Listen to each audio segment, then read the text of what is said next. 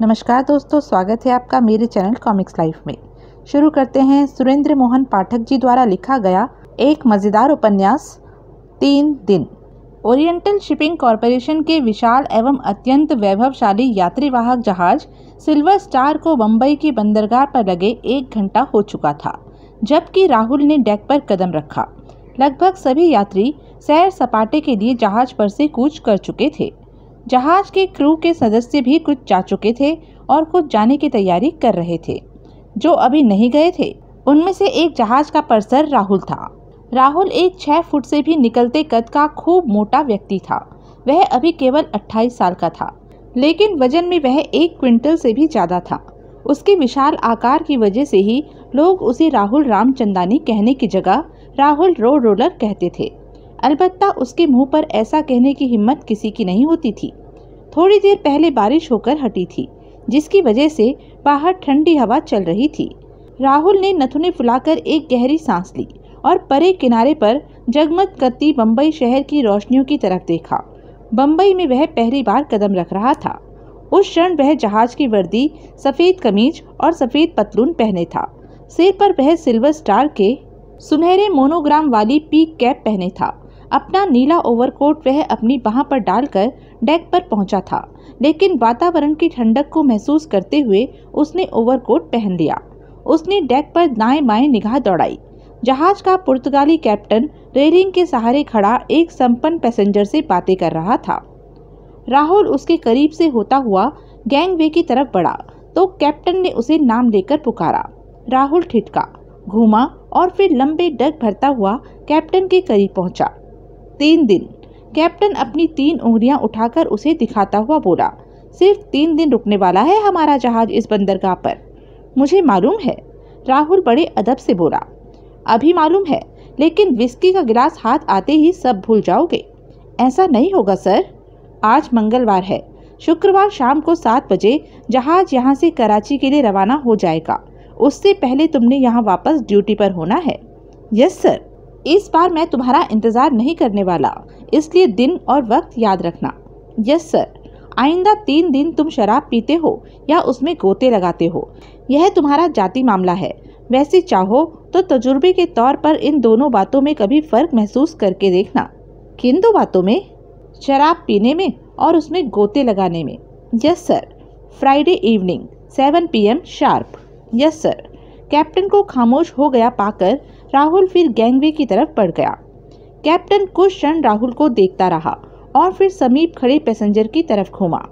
यह लड़का कैप्टन बोला, जब जहाज़ पर होता है तो विस्की को हाथ तक नहीं लगाता, लेकिन जहाज़ बंदरगाह पर पहुँचा नहीं। खुशकी पर इसके पाँव पड़े नहीं कि इसका विस्की में डूबने उतरने का प्रोग्राम शुरू। यह तो आपके लिए अक्सर मुसीबत खड़ी कर देता होगा। पैसेंजर बोला, जहाज़ पर नहीं करता। जहाज़ पर तो इससे ज़्यादा मुस्तैद फर्मा बरदार और जिम्मेदार आदमी ढूंढना मुहाल है। हालाँकि काम करना इसके लिए कतई ज़रूरी नहीं, लेकिन फिर भी जहाज़ पर यह पूरी मेहनत, लगन और ईमानदारी से काम करता है। काम करना ज़रूरी क्यों नहीं इसके लिए?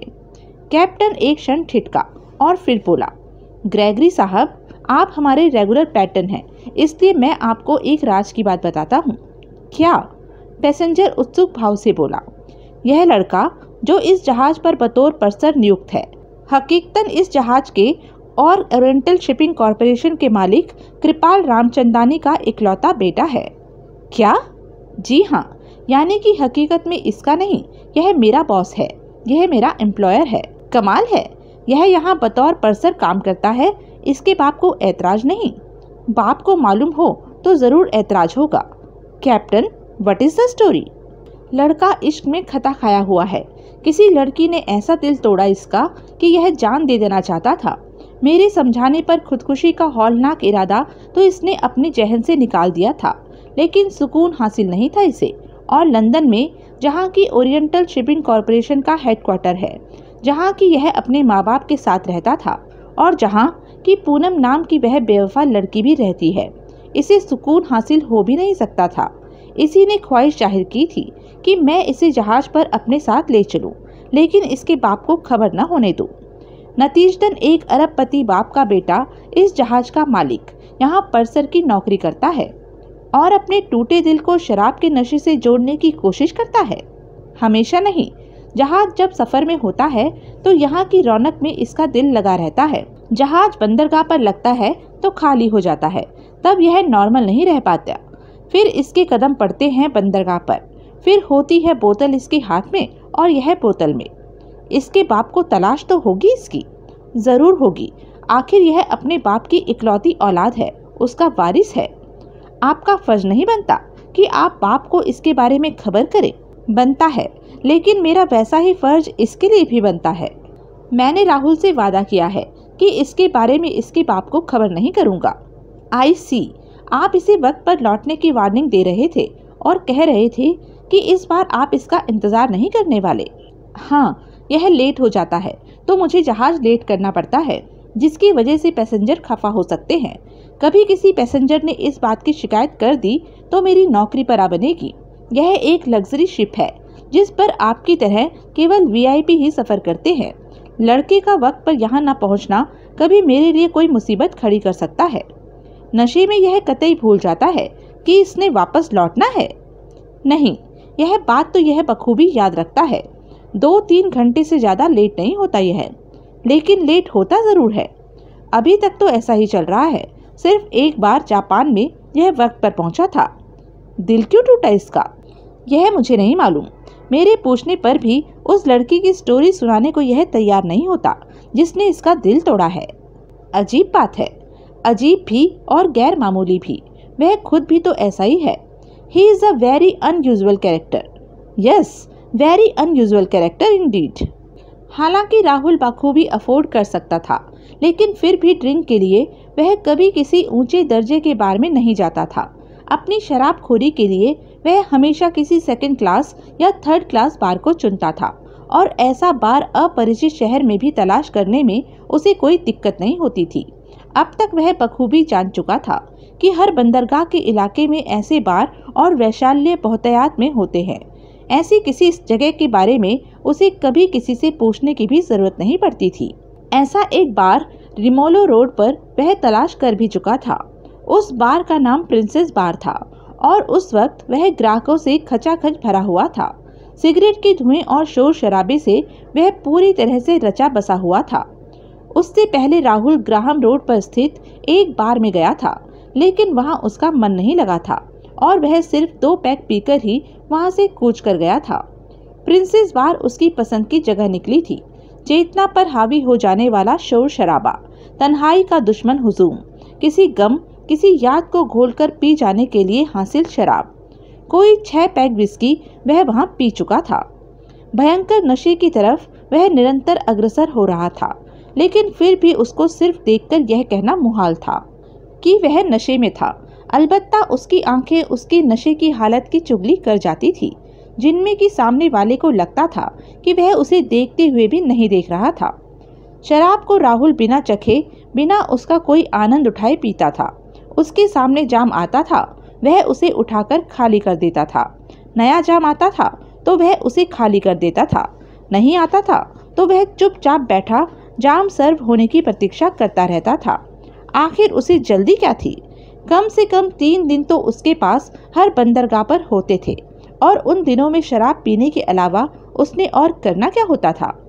राहुल के बगल की मेज पर दो आदमी किसी बात पर बहस कर रहे थे। कभी कभार वे उत्तेजित होते थे तो ऊँचा ऊँचा बोलने लगते थे। ऐसे एक अवसर पर उनकी आवाज़ से आकर्षित होकर राहुल ने उनकी तरफ़ देखा था तो पाया था कि एक भारी भरकम, लेकिन ठिगना सा मराठा था, और दूसरा दुबला पतला, बाँस सा लंबा गोवानी था। दोनों चालीस के पेटे में थे। उनके वार्तालाप के कुछ टुकड़ों को सुनकर ही राहुल ने जाना था कि गोवानी का नाम रोबीरो था और मराठे का नाम मारुति राव था। मोटे, तू मूर्ख है। एक बार उसने गोवानी को गुस्से में कहते सुना, साले, अभी सिर्फ़ हमें मालूम है कि धोते मटका एजेंट होने के साथ साथ गुरुजी का सप्लायर बन गया है और ढाई तीन लाख रुपए का माल हमेशा अपने पास अपनी जेब में रखता है। अभी मौका सिर्फ़ हमारे हाथ में है। बाद में औरों को भी खबर लग गई तो कोई भी उसका गला काट कर माल झपट लेगा। वह कंपनी का आदमी है, मारुति राव बोला। सिर्फ़ मटके के मामले में, गुरुजी का धंधा उसका अपना है। हम मटके के माल को हाथ नहीं लगाएँगे। तो कंपनी का कहर कभी हम पर नाजिल नहीं हो पाएगा। आज नंबर कौन सा लगा? सांता मारिया, गुवानी असहाय भाव से बोला, अरे, मैं तुझे उत्तर की बात समझा रहा हूँ और तू दक्षिण की बात कर रहा है। क्या लगाया था मटके पर तूने? बीस रुपया। लानत, साले मोटे, नंबर लग भी गया होगा तो क्या मिलेगा तुझे? सोलह सौ। और मैं जो तुझे डेढ़ लाख का रास्ता दिखा रहा हूँ? भाई साहब, एकाएक राहुल उनकी तरफ़ झुकता हुआ बोला मटका कहाँ लगता है? दोनों ने चौंक कर उसकी तरफ़ देखा। मैं परदेसी हूँ। राहुल विनयशील स्वर में बोला, लेकिन मैंने बम्बई के मटके का बहुत नाम सुना है। सुना है नंबर रोज निकलता है। हाँ मारुति राव के मुँह से निकला। मैं तीन दिन यहाँ हूँ। मैं भी मटका खेलना चाहता हूँ। अब कब निकलेगा नंबर? कल शाम को। मैं दाव लगाना चाहता हूँ। कितने रुपए का? सौ रुपये का। बस? हाँ मैं तो यूँ ही खेल खेल में ऐसा करना चाहता हूँ। लेकिन अगर तुम दाव ज़्यादा लगाओ तो? बाहर सड़क पर एकाएक गवानी बीच में बोल पड़ा। बाहर से थोड़ी ही दूर एक बनारसी पान वाले की दुकान है। वहाँ पहुँच जाओ। लेकिन अब अपना काम करो गोवानी सख्ती से बोला। ठीक है। राहुल तनिक आहत भाव से बोला और फिर उसने उनकी तरफ़ से पीठ फेर ली। वह फिर अपनी शराब खोरी में मशगूल हो गया और कई पैक पी चुकने के बाद उसे बनारसी पान वाले का दोबारा ख्याल आया। वह अपने स्थान से उठा और झूमता हुआ बार से बाहर निकल गया। तब तक लगभग बारह बज चुके थे और बार की भीड़ काफ़ी छट चुकी थी।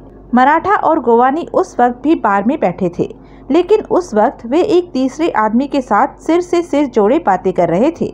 तीसरा आदमी कोई 45 साल का मोटा थुल सा व्यक्ति था। राहुल बार से बाहर निकला। बार के प्रवेश द्वार के पास ही एक टेलीफोन बूथ था, जिसके भीतर उस समय एक नौजवान लड़की मौजूद थी और कहीं टेलीफोन करने की कोशिश में डायल घुमा रही थी।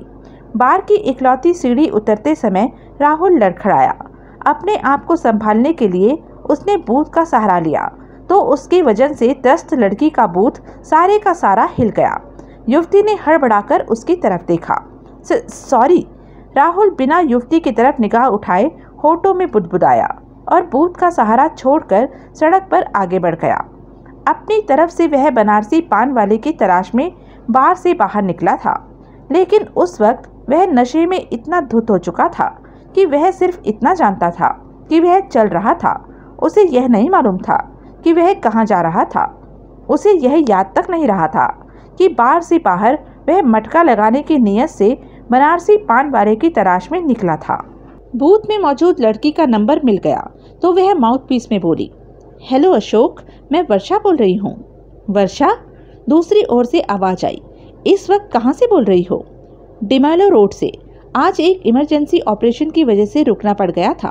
अब लौटने में दिक्कत आ रही है। अस्पताल में गाड़ी उपलब्ध नहीं थी। मैं टैक्सी पर सवार होने की नीयत से वहाँ से चल पड़ी थी, लेकिन अब मुझे कोई टैक्सी भी नहीं मिल रही। शुक्र है कि फ़ोन पर तुम मिल गए हो। अब बरए मेहरबानी, तुम अपनी कार पर यहाँ आकर मुझे ले जाओ। तुम अस्पताल में ही फ़ोन कर देती मुझे। अस्पताल का फ़ोन खराब था। अच्छा अस्पताल है, जिसमें न वक्त पर गाड़ी हासिल है और न फ़ोन। तुम आ रहे हो? हाँ और क्या नहीं आऊँगा? शुक्रिया। डिमोनो रोड पर तुम हो कहाँ? प्रिंसेस बार के सामने के टेलीफोन बूथ में। वर्षा, तुम ऐसा करो। बार के सामने ही मैंगलोर स्ट्रीट है। तुम उस गली को पार करके निकोल रोड पर आ जाओ। वहाँ क्यों? क्योंकि डिमोलो रोड पर आजकल सड़क मरम्मत के लिए रास्ता बंद है। वहाँ दूसरी तरफ़ से पहुँचने के लिए मुझे बहुत लंबा चक्कर काट कर आना पड़ेगा। मेन रोड के सिरे तक जाना पड़ेगा मुझे। तुम वह जरा सी गली पार करके निकोल रोड पर आ जाओगी तो हम जल्दी घर पहुँच जाएँगे। जितनी देर में तुम गली पार करोगी, उतनी देर में मैं भी वहाँ पहुँच जाऊँगा। ठीक है। मुझे निकोल रोड पर मैंगलोर स्ट्रीट के दहाने पर मिलना। ओके।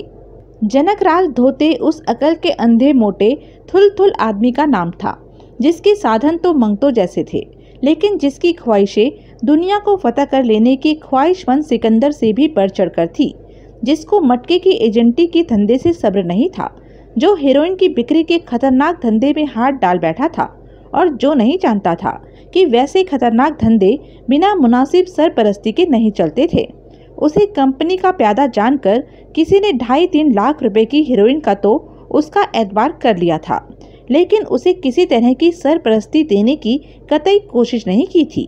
अलबत्ता उसे यह ज़रूर बता दिया था कि उधार में मिली हेरोइन में या उसकी कीमत में कोई घोटाला करने की सूरत में इसकी लाश छत्तीस टुकड़ों में बटी अरब सागर में तैरती पाई जा सकती थी। ऐसे ही आ बैल मुझे मार जैसी फितरत के व्यक्ति धोती को मारुति राव और रोबिरो की जुगल जोड़ी ने यह भरोसा दिया था कि सिर्फ़ दो फ़ीसदी की कमीशन पर वे उसे एक लाख रुपए की गुरुजी के ग्राहक से मिलवा सकते थे। प्रिंसेस बार में उनके साथ बैठे धोते ने फ़ौरन वह ऑफ़र कबूल कर ली। अपनी निगाह में यह कहकर भारी होशियारी दिखाई कि माल उनके पास नहीं था, वह ग्राहक से मिलेगा। वह उससे रकम हासिल करेगा और फिर माल लेकर देगा। दोनों ने फ़ौरन हामी भर दी। अपनी मूर्खता के साथ साथ धोते नशे के हवाले न होता। तो आनंद फानन हुई उस हामी ने ही उसे चौकन्ना कर दिया होता। वह सहर्ष ग्राहक से मुलाकात की खातिर उनके साथ चलने के लिए तैयार हो गया। कत्ल के लिए मुनासिब जगह रूबीरो ने पहले ही चुनी हुई थी। मैंगलोर स्ट्रीट के सिरे पर एक तीन मंजिला इमारत थी, जो कभी आतंकवादियों का अड्डा होती थी और जहाँ कभी गोला बारूद तैयार किया जाता था। एक बार वहाँ मौजूद बारूद का भंडार किसी प्रकार आग पकड़ गया था और आनंद फानन वह सारी इमारत खंडर बन गई थी। इमारत की कुछ दीवारें अभी भी खड़ी थी।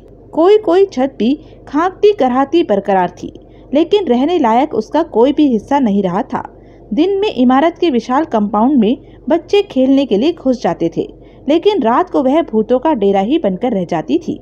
वह जगह रोबीरो ने कत्ल के लिए चुनी थी, जहाँ की बकौल रोबीरो कई दिन तक तो लाश का पता भी नहीं चलने वाला था। धोते के दाएँ बाएँ चलते हुए रोबीरो और मारुति राव मैंगलोर स्ट्रीट में दाखिल हुए और उस खंडर इमारत की तरफ़ बढ़े। वर्षा मैंगलोर स्ट्रीट के मध्य में पहुँच गई तो उसे लगा कि वह गली का इकलौती राहगुजर नहीं थी। अपने पीछे से किसी के कदमों की आवाज़ उसे निरंतर सुनाई दे रही थी। उस सुनसान गली में उसके पीछे निश्चय ही कोई था। कहीं वह उसी के पीछे तो नहीं आ रहा था। वर्षा ने तनिक भयभीत होकर सोचा। उसने एक बार सावधानी से घूमकर अपने पीछे निगाह दौड़ाई तो उसे अंधेरी गली में कोई दिखाई न दिया।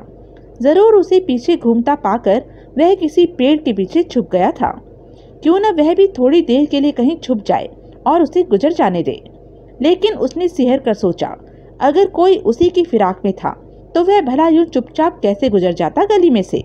उसने जल्दी जल्दी गली पार कर जाना ही मुनासिब समझा। उसके दोबारा चलना शुरू करते ही पीछे से कदमों की आहट फिर सुनाई देने लगी। वह और भी भयभीत हो उठी। उसका जी चाहने लगा कि या तो वह ज़ोर से चिल्ला पड़े और या वह एकदम वहाँ से भाग निकले, लेकिन उससे दोनों में कोई भी काम न किया। वह खामखा डर रही थी। उसने अपने आप को तसल्ली दी। उस इलाके से वह पूरी तरह वाकिफ थी। राहजनी या बलात्कार की कोई घटना वहाँ हुई हो, ऐसा उसने कभी नहीं सुना था। तो फिर वह भयभीत क्यों थी? भयभीत क्या? वह तो आतंकित थी और उसके सारे जिस्म में रह रहकर ठंडक की लहर दौड़ जाती थी। बेमानी था उसका डरना। वह गली उसकी बपौती थोड़ी ही थी। कोई भी उस रास्ते से गुजर सकता था। लेकिन उसके ठिठकने पर पीछे से आती पद चाप बंद क्यों हो गई थी? उसने एक बार फिर घूमकर पीछे देखा। उसी क्षण पीछे आता व्यक्ति एक स्ट्रीट लाइट के नीचे से गुजरा। वर्षा ने देखा। कि वह एक हाथी जैसा विशाल काय व्यक्ति था। उसके विशाल आकार और सिर की टोपी के अलावा वर्षा और कुछ न देख सकी, क्योंकि तभी रोशनी उसके पीछे हो गई। रोशनी पीछे होती ही उसके विशाल शरीर का इतना लंबा साया गली में बना कि उसके सिर की परछाई वर्षा को अपने जिस्म पर पड़ती लगी। वह घबराकर आगे बढ़ी, तभी साया ठिठक गया। उसकी जान में जान आई। इस बार साया उसके ठिठकने पर नहीं ठिठका था। बल्कि उसके आगे बढ़ने पर ठिठका था। धोते को पूर्वता अपने बीच में चलाते हुए मारुति राव और रोबीरो खंडर इमारत के कंपाउंड में दाखिल हुए। कंपाउंड पार करके जब वे इमारत के बरामदे में पहुँचे तो एका एक धोते ठिटक गया। तब उसे पहली बार महसूस हुआ कि जिस जगह वह लाया गया था, वह किसी सांप, छछुंदर, चिमगादड़ की रिहाइश तो हो सकती थी, किसी इंसान के बच्चे की नहीं। यहाँ रोशनी क्यों नहीं है? धोते सक पकाए स्वर में बोला अभी हो जाएगी। रोबीरो आश्वासन पूर्ण स्वर में बोला और उसने उसे भीतर की तरफ़ धकेला। यह तुम कहाँ ले आए हो मुझे?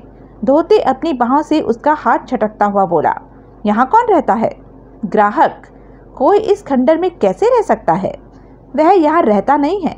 उसने मिलने के लिए यह जगह मुकर्र की गई है। वह भीतर है? धोते संदिग्ध भाव से बोला हाँ मुझे तो नहीं लगता कि भीतर कोई हो। वह पिछवाड़े में है। उसे यहाँ बुलाओ। आवाज़ देना मुनासिब नहीं होगा। तो जाकर ले आओ। मैं भीतर नहीं जाने का। एकाएक धोते एक कदम पीछे हटा और वापस घूमा। मारुति राव धोते एक कदम पीछे हटा और वापस घूमा। मारुति राव रोबियो सांप की तरह फुफकारा। पकड़ हरामजादे को। मारुति राव ने फ़ौरन उसे दबोच लिया। उसका एक हाथ धोते के मुँह पर पड़ा और दूसरा उसकी थुल थुल कमर से लिपट गया। उसने अपना एक घुटना उसकी पीठ में धसाया और उसे अपने साथ घसीटता हुआ इमारत के भीतर ले चला। रोबीरो के हाथ में एक कोई फुट भर का लोहे का डंडा प्रकट हुआ। वह छलांग मारकर उनके सामने पहुँचा। उसका डंडे वाला हाथ हवा में उठा और फिर वह गाज की तरह धोती की खोपड़ी पर गिरा। आगे निकोल रोड पर से वर्षा को किसी वाहन की आवाज़ नहीं आ रही थी। ज़ाहिर था कि अशोक कार लेकर अभी वहाँ नहीं पहुँचा था। सर्वत्र सन्नाटा छाया हुआ था। कहीं कोई आवाज़ नहीं थी। सिवाय उन कदमों की आहट के, जो वर्षा को अपने पीछे से फिर आने लगी थी। पता नहीं यह हकीकत थी या उसका वहम था, लेकिन वर्षा को ऐसा लगा, जैसे इस बार पीछे आते व्यक्ति ने भी तेज तेज चलना शुरू कर दिया हो। तभी वह कोने की खंडर इमारत के करीब पहुँची। फिर एकाएक किसी अज्ञान भावना से प्रेरित होकर आगे बढ़ने के स्थान पर वह इमारत के कंपाउंड के टूटे फाटक के भीतर दाखिल हो गई। दबे पाँव वह इमारत के बरामदे तक पहुँची और स्तब्ध खड़ी पंजों के बल उचक कर बाहर गली में देखने लगी। अगर उसके पीछे आता साया चुपचाप खंडर इमारत के सामने से गुजर गया तो वह समझेगी कि जो कुछ सोच सोच कर वह हलकान हुई जा रही थी, वह सब उसके दिमाग का खलल था। साया गली में उसके सामने प्रकट हुआ। वर्षा हड़बड़ाकर भीतर गलियारे में सरक गई। वह उसे बरामदे में खड़ी देख जो सकता था। इमारत के सामने साया ठिठका। वह सहम कर दो कदम पीछे हट गई। साया अनिश्चित सा गली में खड़ा, आंधी में हिलते ताड़ के पेड़ की तरह झूम रहा था। अगर वह इमारत में दाखिल हुआ, वर्षा ने फैसला किया तो वह गला फाड़ फाड़ कर चिल्लाने लगेगी। तभी इमारत के भीतर कहीं हल्की सी आहट हुई। वर्षा को अपनी सांस रुकती महसूस हुई। क्या भीतर भी कोई था?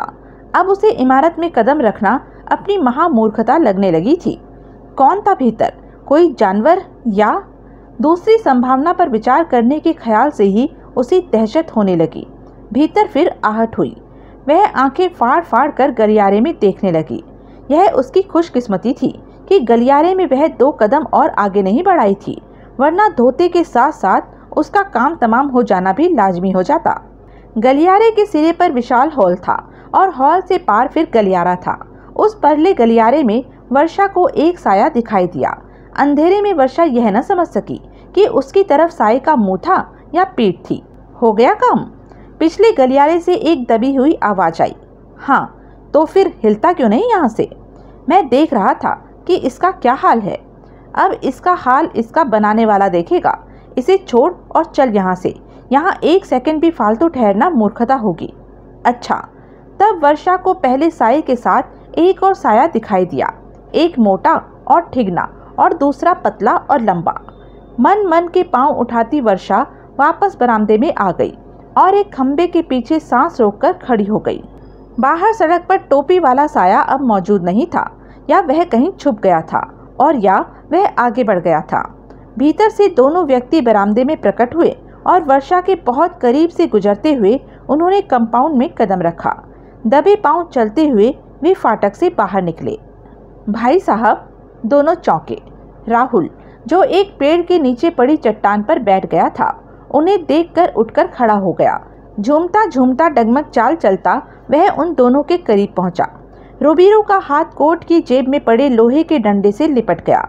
मारुति राव ने व्याकुल भाव से पहले राहुल को और फिर गली में दाएँ बाएँ देखा। रोबीरो ने आश्वासनपूर्ण ढंग से उसका कंधा दबाया। भाई साहब राहुल की ज़ुबान नशे में लाख हुई जा रही थी और वह बड़ी कठिनाई से बोल पा रहा था।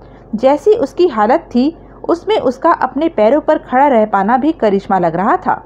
आप कहाँ हैं? क्या मतलब? रोबीरो तीखे स्वर में बोला। मेरा मतलब मैं, राहुल ने झूमते हुए एक हाथ से अपनी छाती ठोकी। मैं कहाँ हूँ? यह टुन है। मारुति राव फुसफुसाया। इसे छोड़ो। इस वक्त इसे तीन दुनिया की खबर नहीं। मैं कहाँ हूँ भाई साहब? राहुल फिर बोला, भाई साहब, मैं कहाँ हूँ? बताते जाइए ना, मेहरबानी होगी। तुम? रोबीरो बोला, ज़मीन के ऊपर हो और आसमान के नीचे हो। ज़मीन कहाँ है भाई साहब? आसमान कहाँ है? ज़मीन आसमान के नीचे है और आसमान ज़मीन के ऊपर है और दोनों के बीच में तुम हो। वाह वाह भाई साहब, क्या पता बताया है आपने मेरा। मेहरबानी आई मीन मेहरबानी आपकी। अब एक पते की बात मेरे से भी सुनते जाइए। क्या कल मटके में सिंगल नंबर सत्ता निकलने वाला है? लकी सेवन भाई साहब it is a sure win bet you are shirt on it अच्छा तुमने लगा दिया अपना सारा माल सत्ते पर? पता नहीं भाई साहब। पता नहीं? तुम्हें यह भी पता नहीं कि तुमने मटका खेला है या नहीं? पता नहीं। अब तक नहीं खेला तो गया तुम्हारा नंबर। आज का नंबर तो निकल चुका होगा। सत्ता? सत्ता भी निकला होगा तो तुम्हारे किस काम का? सत्ता फिर निकलेगा। क्या कहने? सत्ता रोज निकलेगा। Lucky seven bet your shirt on it my dear friend यह टुन है। मारुति राव बोला, चलो, इसके साथ सिर खपाई मत करो। दोनों ने आगे बढ़ने का उपक्रम किया। भाई साहब, राहुल ने फरियाद की। एक आखिरी बाप, बात तो बताते जाइए। पूछो। यह, राहुल ने खंडर इमारत की तरफ़ संकेत किया। कोई होटल है? हाँ रोबीरो बोला। बम्बई का बहुत फ़ेमस फाइव स्टार होटल है यह। ताजमहल कहते हैं इसे। अच्छा यह ताजमहल है। मुझे भी रात गुजारने के लिए किसी होटल की तलाश थी। यह बढ़िया जगह है। ज़रूर होगी, लेकिन यहाँ अंधेरा अंधेरा क्यों है? क्योंकि तुम बाहर हो, तुम भीतर जाओगे तो रोशनी हो जाएगी। डैश गुड। शुक्रिया भाई साहब, आपने एक रबदेसी सेलर की बहुत मदद की। बेड़ा पार लगाया आपने उसका। आप तो मेरे नेविगेटर हैं। आप तो मारुति राव ने रुबीरो को वहाँ पकड़कर घसीटा। राहुल को वैसे ही पकता झकता छोड़कर दोनों आगे बढ़ गए। कुछ क्षण बाद वहाँ से हटा और परे जाकर फिर पेड़ के नीचे चट्टान पर बैठ गया। सिंगल नंबर सत्ता। वह ऊँगता हुआ बड़बड़ा रहा था। Lucky one seven thou on lucky seven गली खाली हो गई तो वर्षा की जान में जान आई। वह खम्बे की ओट से बाहर निकली। उसने अपनी साड़ी के पल्ले से अपना चेहरे पर चुहचुहा आई पसीने की बूंदों को साफ़ किया और फिर बरामदे से नीचे उतरने के लिए आगे कदम बढ़ाया। तभी पीछे इमारत में से एक अजीब आवाज़ आई। वर्षा का हलक फिर सूखने लगा। उसने साफ़ महसूस किया कि वह किसी के हौले से कराने की आवाज़ थी। हे भगवान, अब कौन था भीतर? करहा में ऐसी बेबसी और दयानीयता बसी हुई थी। कि फ़ौरन वहाँ से भाग निकलने को तत्पर व्यग्र वर्षा के पाँव चढ़ हो गए। भीतर जो कोई भी था, बहुत तकलीफ़ में था। करहा ऐसी थी, जैसे कराने वाले की अगली सांस का भी भरोसा नहीं था। ऐसे तो वही करा सकता था, जो मौत की कराह पर खड़ा हो। ऐसे व्यक्ति से उसे क्या खतरा हो सकता था? वह डॉक्टर थी। क्या पता ऐसे किसी शख्स को वक्त पर हासिल हुई कोई डॉक्टरी सहायता उसकी जान बचा सके? वह वापस गलियारे में दाखिल हुई। अंधेरे में अंदाजन चलते हुए उसने हॉल पार किया और पिछले गलियारे में पहुँची। पिछले गलियारे के आगे एक कमरा था, जिसकी इकलौती विशाल खिड़की टूटी हुई थी और उसमें से थोड़ी बहुत रोशनी भीतर आ रही थी। उस निहायत नाकाफी रोशनी में आँखें फाड़ फाड़ कर वर्षा ने देखा कि एक खिड़की के करीब फर्श पर कुछ पड़ा था। वह दो कदम और आगे बढ़ी और उसने बहुत गौर से देखा तो पाया कि वह एक इंसानी जिस्म था। कौन है? वह आतंकित भाव से बोली, कोई उत्तर न मिला। फर्श पर पड़े व्यक्ति के मुँह से कोई शीण सी करहा भी न निकली। फिर एकाएक वर्षा की सारी हिम्मत दगा दे गई। उसके मुँह से एक घुटी हुई चीख निकली और फिर वह तूफानी रफ्तार से खंडर के मलबे और कूड़े करकट से उलझती गिरती पड़ती वापस भागी और बिना रास्ते में कहीं भी ठिठके सीधे सड़क पर पहुँच गई। तभी एक कार की हेडलाइट की रोशनी उसके चेहरे पर पड़ी। वर्षा के मुँह से फिर एक घुटी हुई चीख निकली और फिर वह घूमकर कार से विपरीत दिशा में भागी। वर्षा वर्षा फिर भी न रुकी। अशोक कार से बाहर निकलकर उसके पीछे भागा। थोड़े फासले पर उसने वर्षा को पकड़ लिया। छोड़ो छोड़ो, वर्षा उसकी पकड़ में छटपटाती हुई बोली। वर्षा, अशोक उसे झिझोड़ता हुआ डपट कर बोला। होश में आओ, मैं हूँ, अशोक अशोक। अशोक, वर्षा के मुँह से चैन की सांस निकली। तब कहीं जाकर उसने हाथ पाँव पटकने बंद किए। क्या हुआ? अशोक बोला, उस उस खंडर इमारत में एक आदमी मरा पड़ा है। आदमी मरा पड़ा है? तुम्हें कैसे मालूम? मैंने उसे देखा था। तुमने उसे देखा था? तुम उस खंडर में क्या करने घुसी थी? गली में कोई आदमी मेरे पीछे लग गया था। उससे छुपने के लिए मैं खंडर में घुसी थी। अब कहाँ गया वो आदमी? पता नहीं। था कौन वो? पता नहीं। मैंने उसका साया ही देखा था। तुम्हें अंधेरे की वजह से वहम तो नहीं हो गया था कि गली में तुम्हारे पीछे कोई आदमी था? नहीं, मुझे वहम नहीं हुआ। आओ चलकर देखें। दोनों पैदल खंडर इमारत पर वापस लौटे। इमारत तो अंधेरे में डूबी हुई है, अशोक बोला। पहले क्या यहाँ रोशनी थी? नहीं, वर्षा बोली। पहले भी यूँ ही अंधेरा था। इतने अंधेरे में तुम्हें खबर कैसे लगी कि भीतर कोई आदमी था? मैंने उसकी कराह सुनी थी। कराह सुनी थी? कराता हुआ आदमी मुर्दा कैसे हो सकता है? वह खामोश रही। कैसी डॉक्टर हो तुम, जो यह भी ना जान सकी कि वह शख्स ज़िंदा था या मुर्दा? अरे, उसकी कोई नब्ज वब्ज ही देखी होती। मैं बहुत डर गई थी। क्या पता वह अभी भी ज़िंदा हो और अस्पताल ले जाए जाने से बच सकता हो? दिखाओ, कहाँ है वो? दोनों कंपाउंड में दाखिल हुए। गलियारे में कदम रखने से पहले अशोक ने अपनी जेब से सिगरेट लाइटर निकालकर जला लिया। लाइटर की रोशनी में चलते हुए वर्षा अशोक को पिछले कमरे में ले आई। कमरा खाली था। यहाँ तो कोई नहीं है, अशोक बोला। अच्छी तरह से देखो, वर्षा बोली। वह यहीं होगा। वह यहीं होगा। अरे, वह क्या कोई चूहा था जो हमें आता देखकर किसी बिल में घुस गया? लेकिन उसे वहाँ सामने उस टूटी खिड़की के करीब पड़े मैंने खुद देखा था। यहाँ और कोई नहीं था। पहले था। पहले दो आदमी और थे। लेकिन वे मेरे सामने यहाँ से चले गए थे। जैसी वे बातें कर रहे थे, उनसे लगता था, ज़रूर उन्हीं ने उस बेचारे को मारा था। अशोक आगे बढ़ा। उसने लाइटर की रोशनी खिड़की के करीब फर्श पर डाली। यहाँ खून तो दिखाई दे रहा है, वह धीरे से बोला। खून ताज़ा भी है, किसी मुर्दा आदमी का वहम तो नहीं हुआ मालूम होता तुम्हें? वह एक क्षण ठिठका और फिर बोला, वर्षा, वह शख्स मरा नहीं होगा, वह सिर्फ़ घायल हुआ होगा। और तुम्हारे यहाँ से कूच करने के बाद यहाँ से उठकर चल दिया होगा। इसके अलावा और कोई बात संभव नहीं मालूम होती। कोई मुर्दा यहाँ से आनंद फानन गायब नहीं हो सकता था। वर्षा खामोश रही। अब चलो यहाँ से। बहुत तमाशा हो चुका। वह गया किधर से होगा? सामने सड़क पर तो वह आया नहीं। पिछवाड़े का दरवाज़ा उखड़ा हुआ है और कंपाउंड की पिछवाड़े की दीवार भी टूटी हुई है।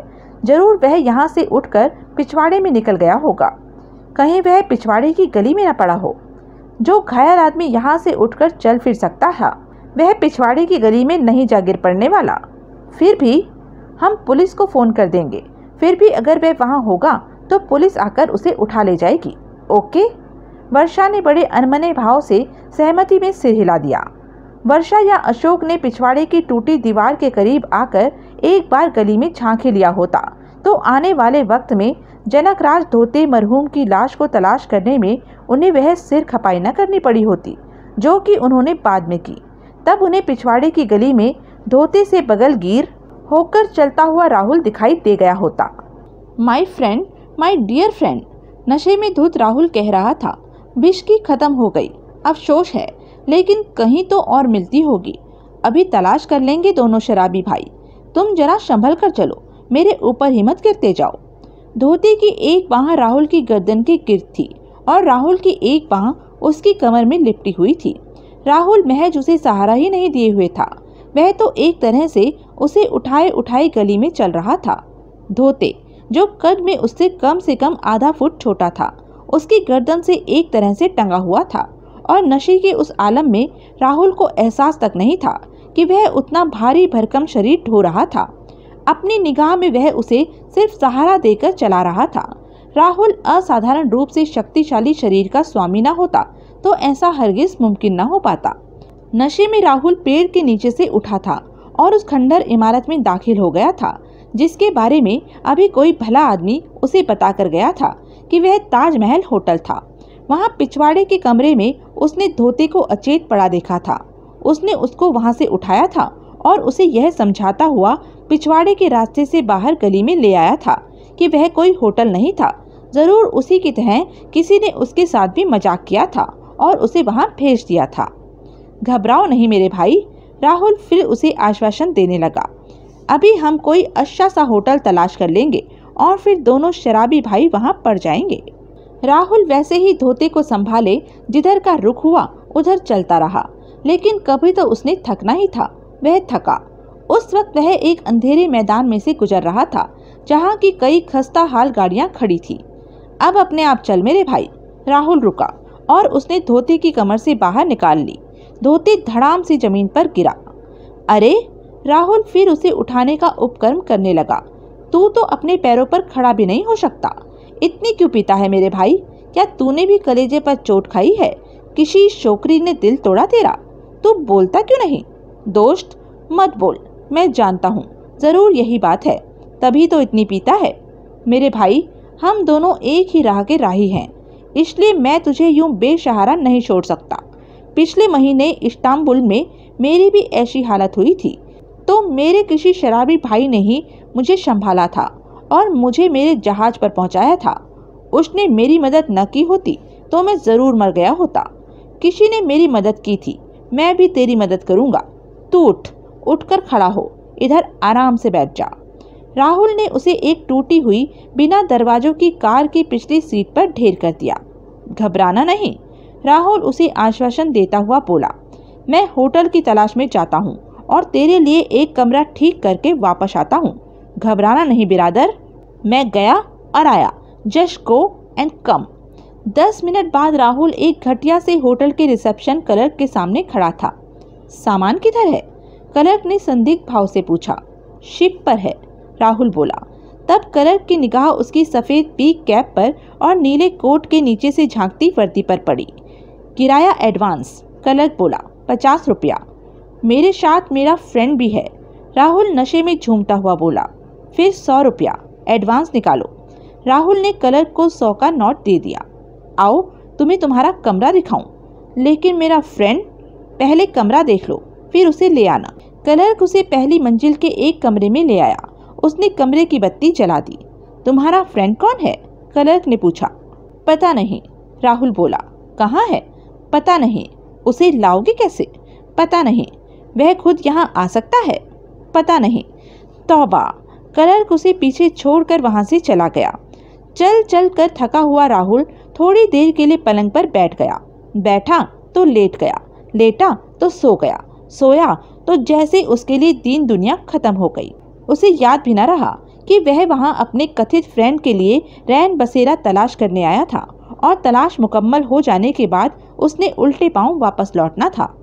वर्षा भाई खला के इलाके में मिसिस ग्रे के गेस्ट हाउस के नाम से जाने जाने वाले लेडीज़ हॉस्टल के एक कमरे में रहती थी।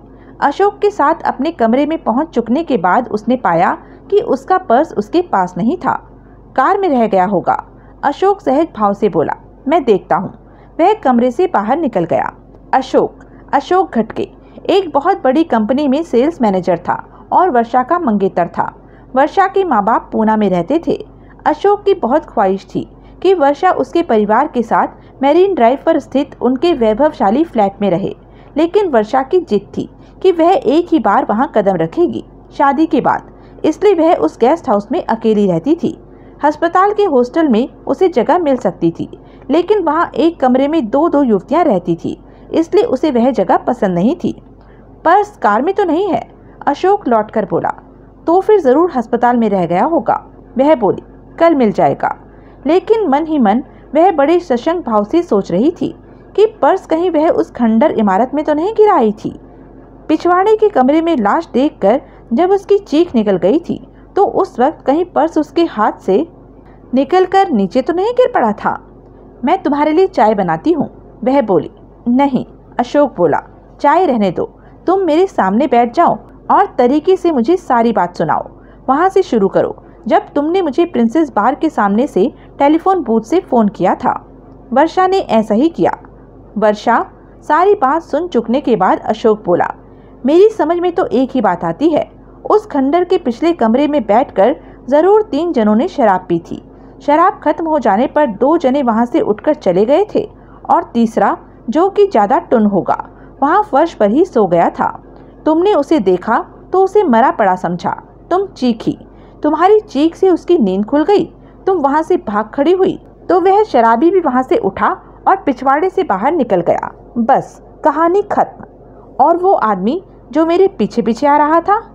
वो कोई राहगीर था, जिससे तुम खामखा डर गई थी। वह भी तुम्हारी तरह महज गली पार कर रहा था। तो फिर मेरे ठिठकने पर वह भी क्यों ठिठक जाता था? वह तुम्हारा वहम होगा। वर्षा खामोश रही। जो हुआ उसे भूल जाओ। अशोक उसका कंधा थपथपाता हुआ बोला, और आराम से सो। आधी रात हो गई है, मैं चलता हूँ। वर्षा ने सहमति में सिर हिलाया। सुबह के चार बजे रोबीरो और मारुति राव भिंडी बाज़ार में स्थित एक चौल में मारुति राव की खोली में पहुँचे। मारुति राव की बीवी और दोनों बच्चे खोली के सामने गलियारे के फर्श पर सोए पड़े थे।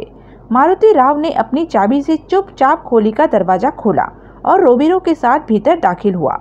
वह खोली के डिब्बे जैसी किचन में पहुँचा और उसने बत्ती जलाई।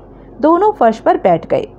धोते के कब्जे से हेरोइन उनकी उम्मीद से ज़्यादा निकली थी, लेकिन उन्हें पैसे उनकी उम्मीद से कम मिले थे। उनके खरीदार ने बताया था कि हेरोइन प्योर नहीं थी, इसलिए उसकी कीमत कम थी। वे दोनों हेरोइन के बारे में कुछ जानते नहीं थे, इसलिए खरीदार की बात पर विश्वास कर लेने के अलावा और कोई चारा उनके पास नहीं था। बहरहाल उन्हें एक लाख साठ हज़ार रुपये उस हेरोइन को बेचकर मिले थे। धोती की जेब में मटके का पच्चीस तीस हज़ार रुपया भी था, लेकिन उसको उन्होंने छुआ तक नहीं था। उन्होंने केवल हेरोइन की छोटी छोटी थैलियाँ निकाली थी जो कि धोते अपने कपड़ों के नीचे पहनी अपनी जेब वाली बास्केट में रखता था। वो दोनों घुटे हुए बदमाश थे और एक बार जेल की हवा भी खा चुके थे। कत्ल ही एक ऐसा अपराध था जो उन्होंने आज तक नहीं किया था। अपनी करतूत को वे कामयाबी से अंजाम दे चुके थे, लेकिन उस वक्त वे इस ख्याल से सहमे हुए थे। रोबीरो कम और मारुति राव ज़्यादा कि उन्होंने कत्ल किया था। अब वे कत्ल के अपराधी थे। और पकड़े जाने पर फांसी की सजा पा सकते थे। ऊपर से उन्हें इस बात का भी अफसोस था कि अपनी उम्मीद से आधी ही रकम उनके हाथ लगी थी। वहाँ दोनों ने चुपचाप हासिल रकम का बंटवारा कर लिया। अपना हिस्सा संभाल कर रोबीरो उठकर जाने लगा तो मारुति राव अपने होठों पर ज़ुबान फेरता हुआ बोला, रोबीरो, क्या है? तुझे विश्वास है? वह मर गया होगा? अच्छा रोबीरो व्यंगपूर्ण स्वर में बोला, तुझे शक है? फिर भी क्या फिर भी? अरे, लोहे के डंडे का जैसा वार मैंने किया था, वह तो किसी भैंसे की जान ले सकता। धोती की तो बिसात ही क्या है? अगर वह ज़िंदा हुआ तो हमारी शामत आ जाएगी। दिमाग खराब है तेरा, यह वहम मन से निकाल दे। और अस्सी हज़ार रुपयों का तकिया लगाकर चैन की नींद सो। सारी रात का जगा हुआ है। यार, मारुति राव व्याकुल भाव से बोला, पता नहीं क्यों मेरा दिल डर रहा है? किस बात से? कि कहीं वह ज़िंदा न हो। अबे साले, तेरी अकल तो नहीं मारी गई? क्यों खामखा हलकान हो रहा है? वह मर चुका है। तुझे कैसे मालूम? तूने कौन सी उसकी नब्ज देखी थी या दिल टटोला था? उसकी कोई ज़रूरत नहीं थी। मुझे मालूम था कि हीरोइन की थैलियाँ बरामद करने के लिए मैं एक लाश का जिस्म टटोल रहा था। मारुति राव खामोश हो गया, लेकिन उसके चेहरे पर आश्वासन के भाव न आए अब कल क्या करेगा? रोबीरो ने पूछा। कल?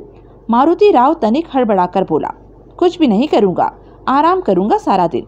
नहीं, दोपहर को हमेशा की तरह बार में पहुँच जाना। आने वाले दिनों में हमारी दिनचर्या में कोई भी बात असाधारण नहीं लगनी चाहिए। कल लाश बरामद हो जाएगी? उम्मीद तो नहीं, लेकिन अगर किसी वजह से हो गई और पुलिस ने लाश की शिनाख्त कर ली तो वह प्रिंसेस बार में उसके बारे में पूछताछ करने ज़रूर आएगी। वह बार हमारी तरह धोते का भी अड्डा था। ऐसे वक्त में हमारा वहाँ न होना। हमारे लिए नुकसानदेह साबित हो सकता है।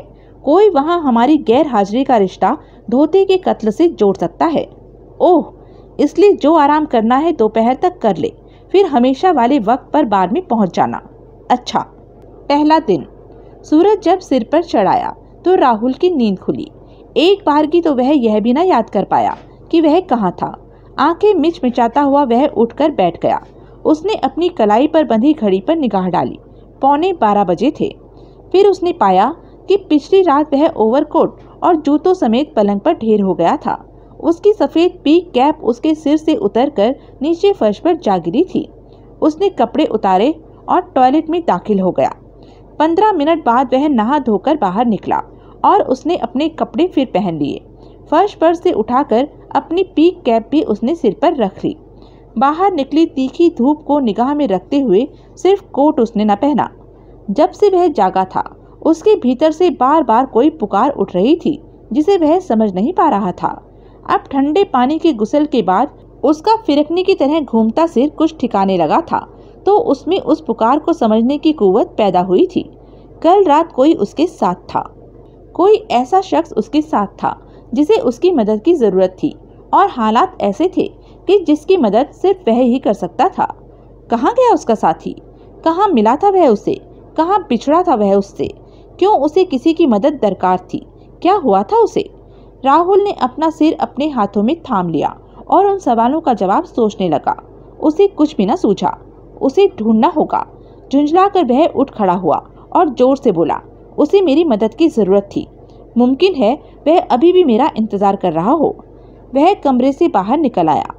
पिछली रात की कहीं धुंधली तस्वीरें उसके जहन पर उभर रही थी। जैसे एक बेहद शोर शराबे वाला बार।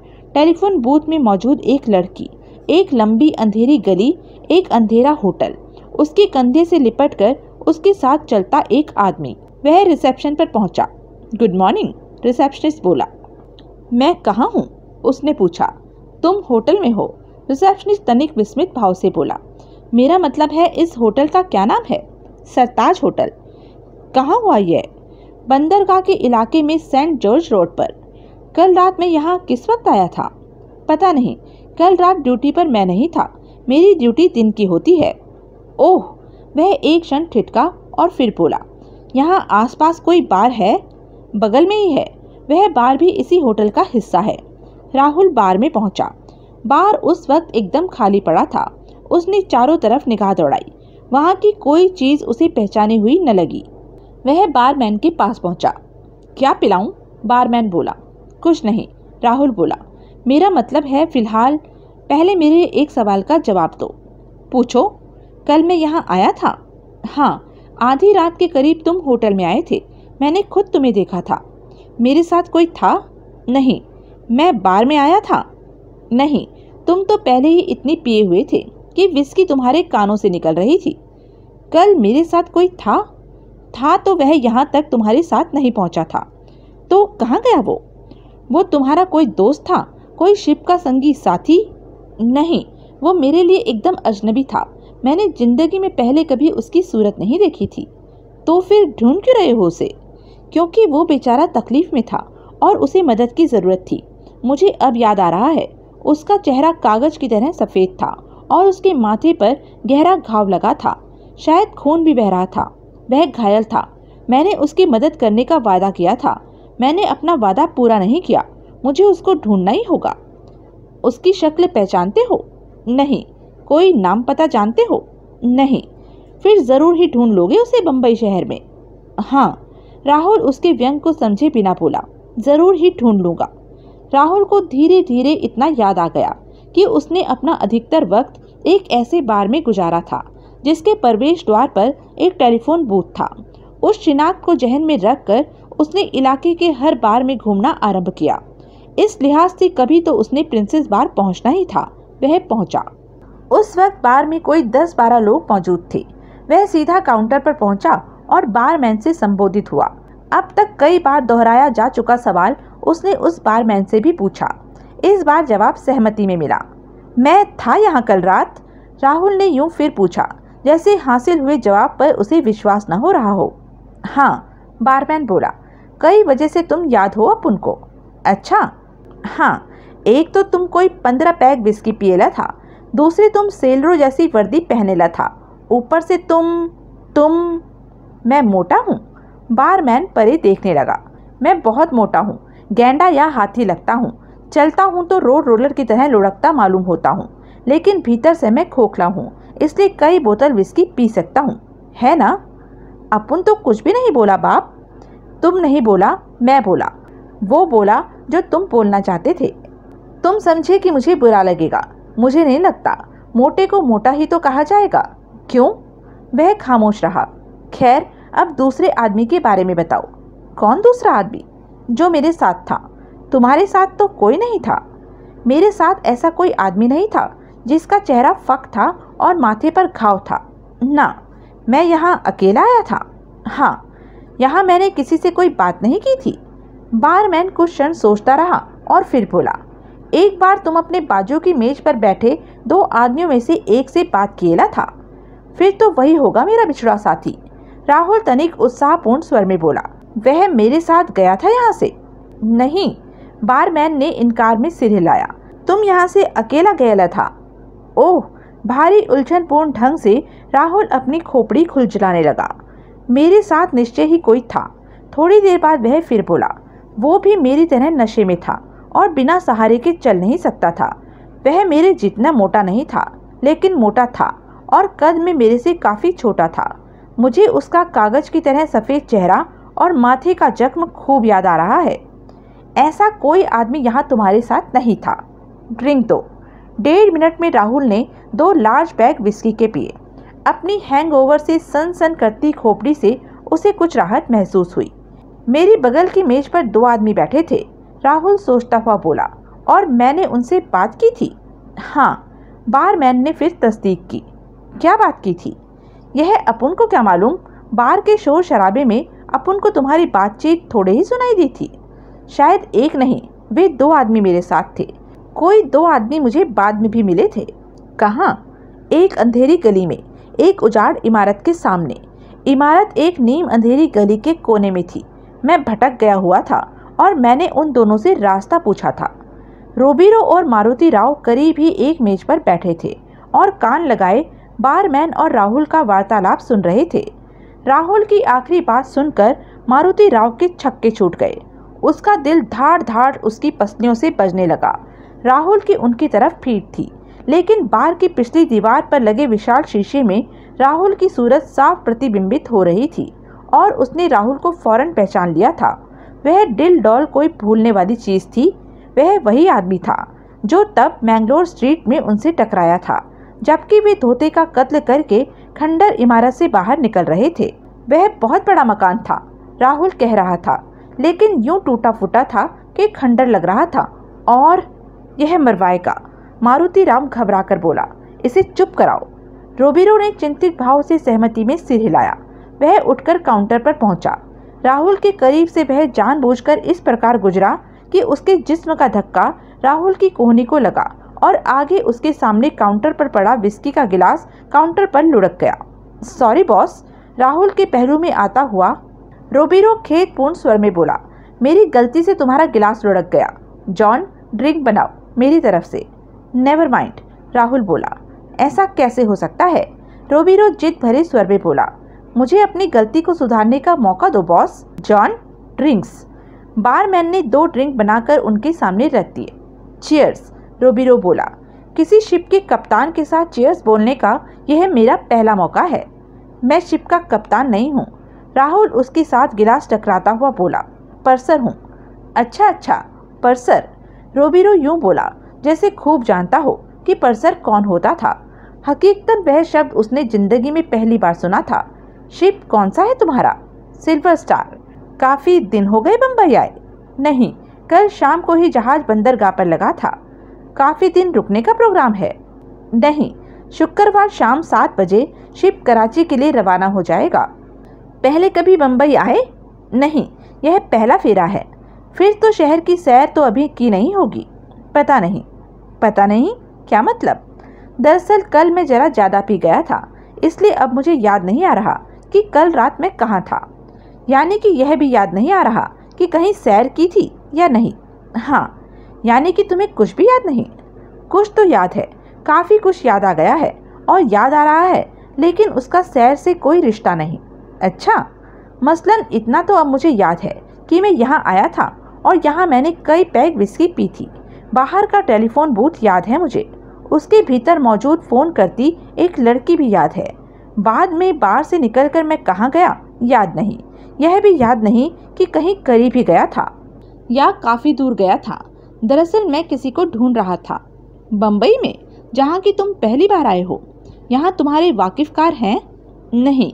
जिसे मैं ढूंढ रहा था, वह मुझे कल रात ही मिला था। ज़रूर किसी बार में टकराया था वह मुझसे। बेचारा घायल था, या शायद बीमार था, या दोनों बातें थी। अपने पैरों पर खड़ा भी नहीं हो पा रहा था बेचारा। चलता था तो बार बार उसका सिर उसकी छाती पर आकर गिरता था। वह तुम्हें कहाँ मिला था? कहा ना, किसी बार में। जब वह भी नशे में था तो और कहाँ मिला होगा? तुम अभी किन्हीं दो आदमियों का ज़िक्र कर रहे थे। हाँ एक अंधेरी गली में एक खंडर इमारत के सामने वे मुझे मिले थे। उनमें से एक ने मुझसे बात की थी और दूसरा चुप रहा था। तुम उनमें से किसी को दोबारा देखो तो पहचान लोगे। जो मुझसे बोला था, उसे पहचान लूँगा। अच्छा? हाँ। रोबिरो ने चैन की सांस ली। उस हाथी जैसे आदमी का दावा कितना गलत था। यह अपने आप ही साबित हुआ जा रहा था। उसने आवाज़ देकर मारुति राव को करीब बुलाया। यह मेरा दोस्त मारुति राव है, वह बोला। और बंदे को रोबीरो कहते हैं। मैं राहुल हूँ।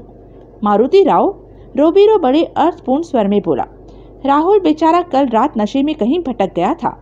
इसे कहीं किसी खंडर मकान के सामने दो आदमी मिले थे, जिनमें से एक को, जिसने की इससे बात की थी, यह कहता है कि यह शर्तिया पहचान लेगा। यह बात? मारुति राव बोला हाँ राहुल ने बड़े दावे के साथ अनुमोदन किया। मारुति राव की जान में जान आ गई। उसकी अपने पार्टनर से आँखें मिली। उस घड़ी दोनों के जहन में एक ही ख्याल था।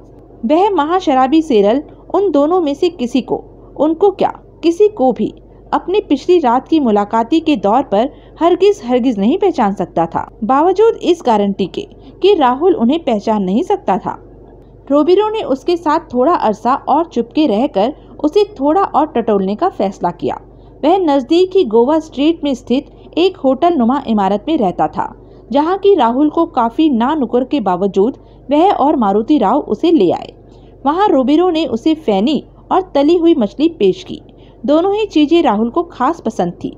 नतीजा यह हुआ कि वह वहाँ ऐसा जमा कि वहीं उसने शाम कर दी। शराब खोरी के दौरान रोबिरो ने वार्तालाप का रुख कई बार पिछली रात की तरफ़ मोड़ा। राहुल की वाणी खूब मुखर हुई, लेकिन उसने ऐसा कुछ न कहा, जो कि वह पहले कई बार नहीं कह चुका था।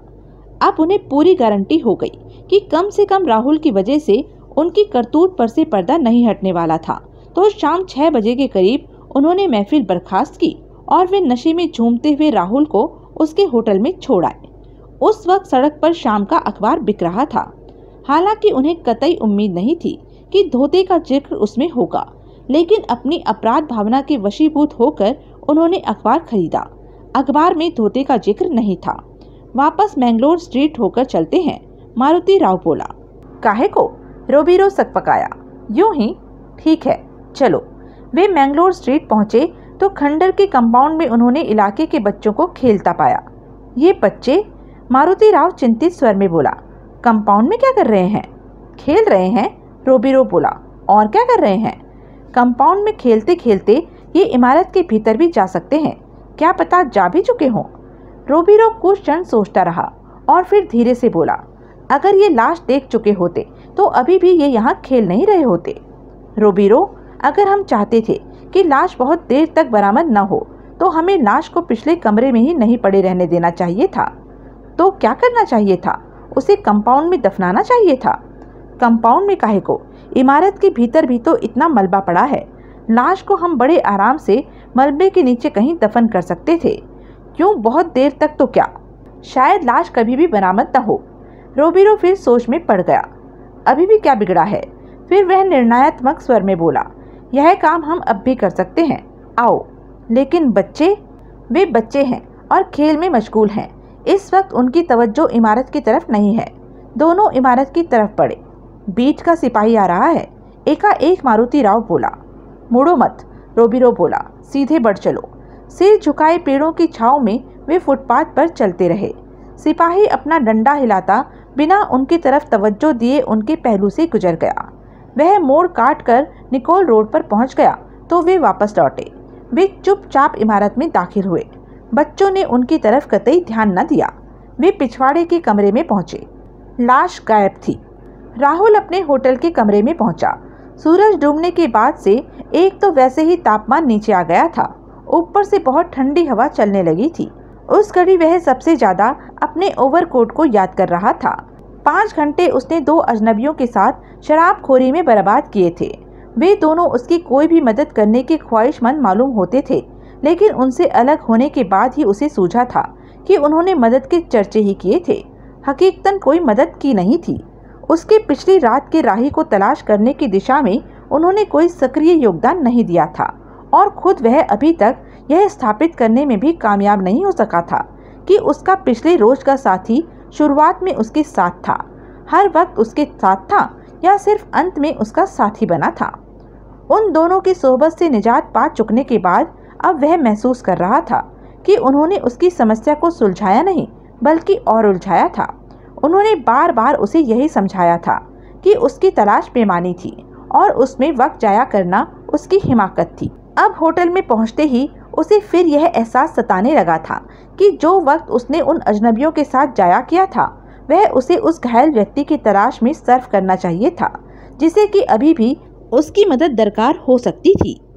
उसने पलंग पर से अपना ओवरकोट उठाया, उसे पहनने से पहले वह एक क्षण ठिठका, कोट के दाएँ कंधे पर और आस्तीन पर उसे कुछ गहरे रंग के धब्बे से दिखाई दिए।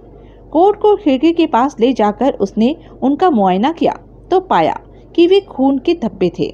उसके मानस पटल पर फिर अपने रात की राही का अक्स उभरा। मैं तुझे ढूंढ के रहूँगा, मेरे दोस्त, वह दृढ़ स्वर में बोला। उसने अपना ओवरकोट पहन लिया और कमरे से बाहर निकल आया। बाहर सड़क पर आकर उसने अपने ओवरकोट की जेबों में अपने हाथ धसाए तो उसकी दाएँ हाथ की उंगलियाँ जेब में पड़ी, एक अपरिचित चीज़ से टकराई। उसने वह चीज़ बाहर निकाली तो पाया कि वह एक जनाना पर्स था। वह अपलक उस पर्स को देखता रहा। अब उसे कई बातें याद आ रही थी। लाश कहाँ गई? वे प्रिंसेस बार में एक कोने के टेबल पर मौजूद थे। उनका दिन भर का नशा हिरण हो चुका था और उस वक्त दोनों के जहन में एक ही ख्याल हथौड़े की तरह बज रहा था।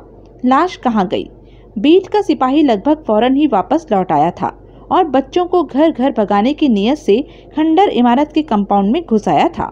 तब उन्होंने पिछवाड़े के रास्ते से चुपचाप वहाँ से कूच कर जाने में ही अपना कल्याण समझा था। ज़रूर लाश बरामद हो गई है, मारुति राव धीरे से बोला। नहीं, रोबीरो बड़ी गंभीरता से इनकार में सिर हिलाता हुआ बोला, अगर लाश दोपहर से पहले बरामद हुई होती तो उसका ज़िक्र अखबार में ज़रूर होता। अगर वह दोपहर बाद बरामद हुई होती तो कंपाउंड में बच्चे न खेल रहे होते और पुलिस अभी भी वहाँ होती। तो फिर वो मरा नहीं होगा। रात को या सुबह किसी वक्त उसे होश आ गया होगा और वो उठकर वहाँ से चलता बना होगा। कहाँ चलता बना होगा? अगर वह ज़िंदा होता तो सीधा थाने पहुँचा होता और हम अब तक हवालात में होते। वह एकदम नहीं मरा होगा। मारुति राव ने नया सुझाव दिया। ज़रूर उसकी कोई कोई सांस बाकी होगी। हमारे चले आने के बाद किसी वक्त उसे होश आया होगा और उसने रेंग कर या चल कर वहाँ से निकल जाने की कोशिश की होगी। लेकिन कोशिश में नाकाम रहने के बाद वह गायब कहाँ हो गया? पिछले कमरे के करीब ही तहखाने को जाती सीढ़ियाँ हैं। क्या पता वह उन सीढ़ियों से लुढ़का हो, नीचे तहखाने में जाकर गिरा हो और अभी वहीं पड़ा हो। वहाँ कोई तहखाना भी है? हाँ तुम्हें नहीं मालूम? नहीं। रोबीरो एक क्षण ठिठका और फिर बोला, बहरहाल इमारत के गिर्द पुलिस की गैर मौजूदगी की रूह में यह एक बात निश्चित है कि वो अभी गायब है। वह तहखाने में हो सकता है और हो सकता है कि अभी ज़िंदा हो। ज़िंदा हुआ तो क्या होगा? हमें इस बात की तस्दीक करनी चाहिए। ठीक है, रात और हो लेने दो, हम फिर वहाँ चलेंगे। राहुल ने वर्षा के हॉस्टल के कमरे का दरवाज़ा खटखटाया।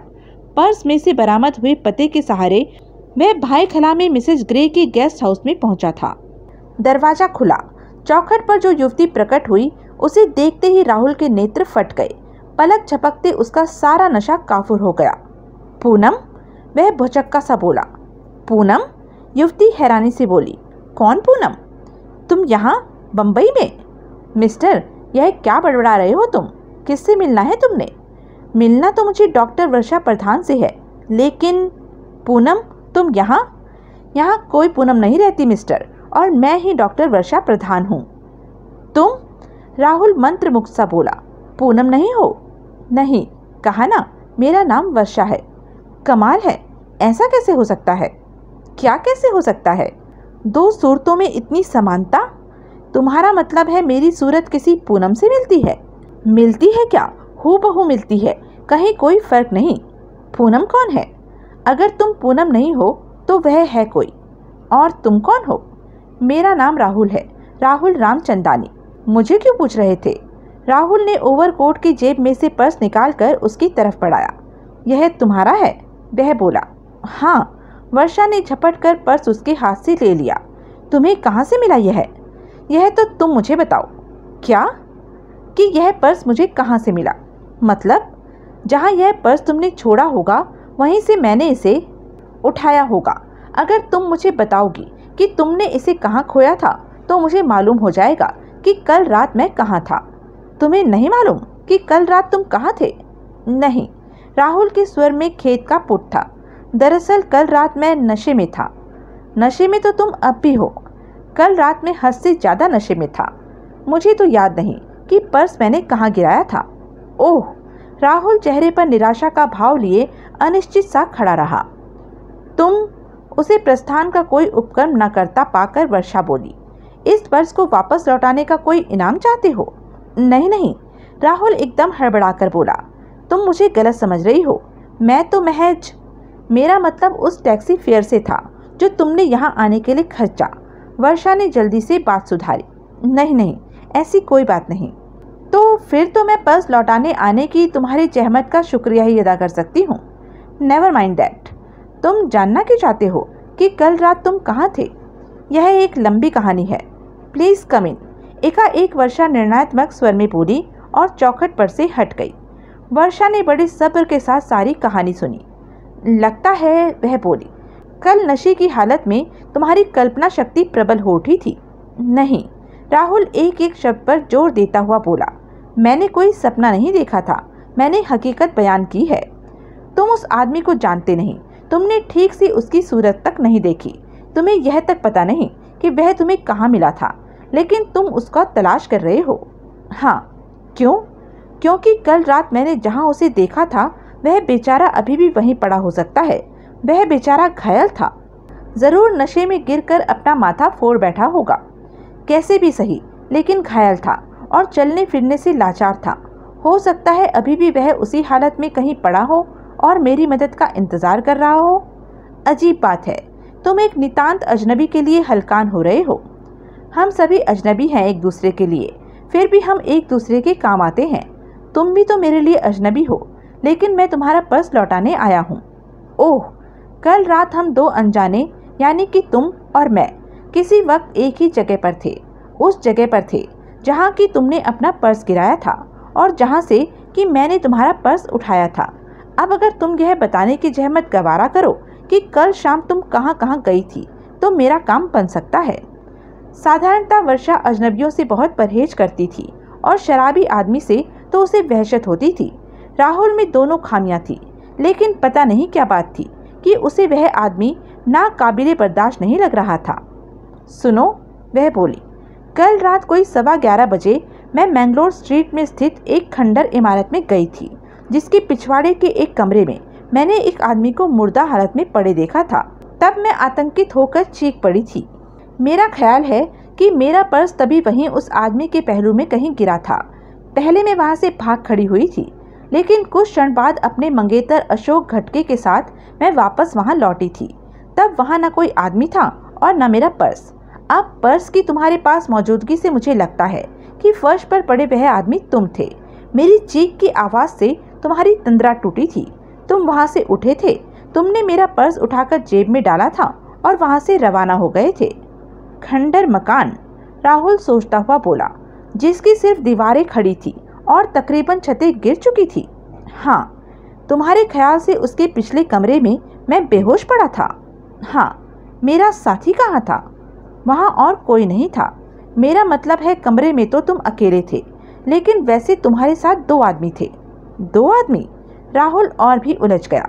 हाँ मेरे सामने दो आदमी पिछवाड़े से निकलकर सामने के रास्ते से इमारत से बाहर गए थे। उनमें से कोई घायल था या बीमार था या किसी सहारे का तलबगार था? नहीं, वे दोनों तो एकदम चौकस थे। तो फिर मेरा साथी उनमें नहीं था। वह ज़रूर मेरे वहाँ पहुँचने से पहले ही मुझसे बिछुड़ चुका था। वर्षा खामोश रही।